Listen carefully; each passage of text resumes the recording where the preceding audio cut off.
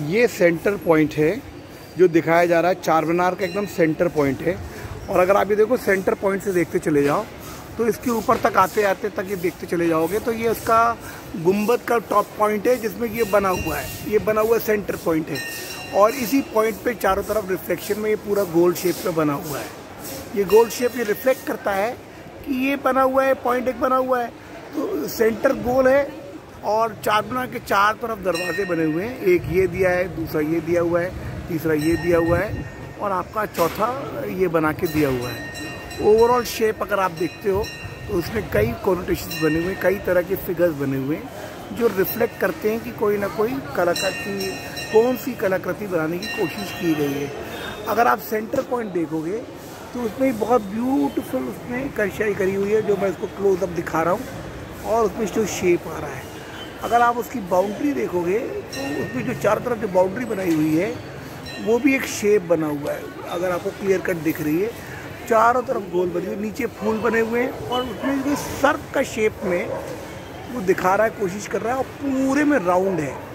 पूरे में ऐसा लगता है जैसे सर्प के शेप में इसको प्रोटेक्ट कर रहे हैं और प्रोटेक्ट करते हुए इसको पूरे को देखते हुए नीचे आते हुए मेरे को ऐसा लगता है, ये जो सेंटर पॉइंट आ जाता है, जहाँ पर इसको उसने फाउंटेन बना दिया है।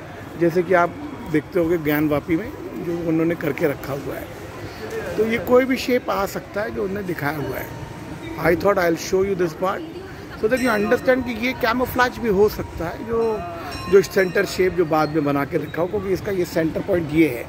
ये हो सकता है चारों विसिनिटी घूमने के लिए और ये पूरा पूरा क्योंकि भाग्य लक्ष्मी मंदिर जो है ना, यहाँ पर उसने कोई दरगाह वरगा भी बना डाली।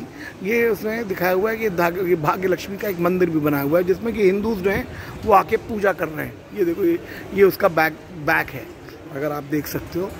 तो ये बना के उसने दिखाया हुआ है जिसमें ब्लैक भी बनाया हुआ है दिखा रहा है। और यहाँ बहुत हिंदूज आ रहे हैं और उसी को दिखाने के लिए बोलते हैं कि नहीं, ये हमने प्लेग से रेजिस्टेंस के लिए बनाया था। तो ये सेंटर का इसका डोर है। इसको और भी आर्किटेक्चरली इसकी स्टडी करना ज़रूरी है ताकि ये फाइंड आउट हो सके। मेरा पर्सनल थाट ये है कि ये शिव मंदिर है। और इस शिव मंदिर को कन्वर्ट किया गया है। क्योंकि अगर आप देखो तो यहाँ से आप देख रहे हो तो ये बाउंड्री एक बनी हुई है, उसके आगे एक बनी हुई है। ये व्यू शिप है ताकि दूर तक आदमी इसको देख सके। और अगर आप इस साइड भी देखो तो बाज़ार का ये भी सेंटर पर यानी इस बीच से आप आगे तक यहाँ से दो किलोमीटर दूर तक, लंबा तक वहाँ भी देख सकते हो। और इस दो किलोमीटर के राउंड में आप यहाँ तक भी लंबा तक देख सकते हो। इस पर रिसर्च करना ज़रूरी है ताकि फाइंड आउट कर सकें।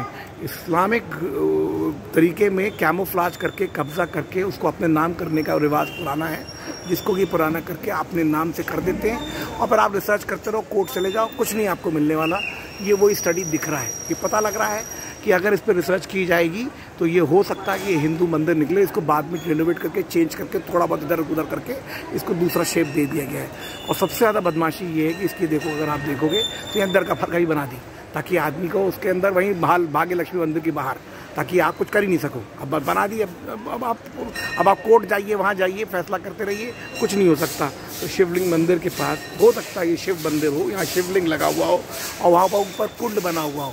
उससे पानी का रिफ्लेक्शन नीचे हो, क्योंकि आज भी इसकी सफ़ाई वैसे ही होती है कुंड के अंदर। हो सकता है इसकी परिक्रमा करने की ज़रूरत पड़ती है। बहुत बहुत धन्यवाद। मैं इस समय आपसे चार मीनार से बात कर रहा हूँ, हैदराबाद से, जिसको भाग्यनगर भी कहा जा सकता है, और आज नहीं तो कल ये ज़रूर कहलाएगा। धन्यवाद।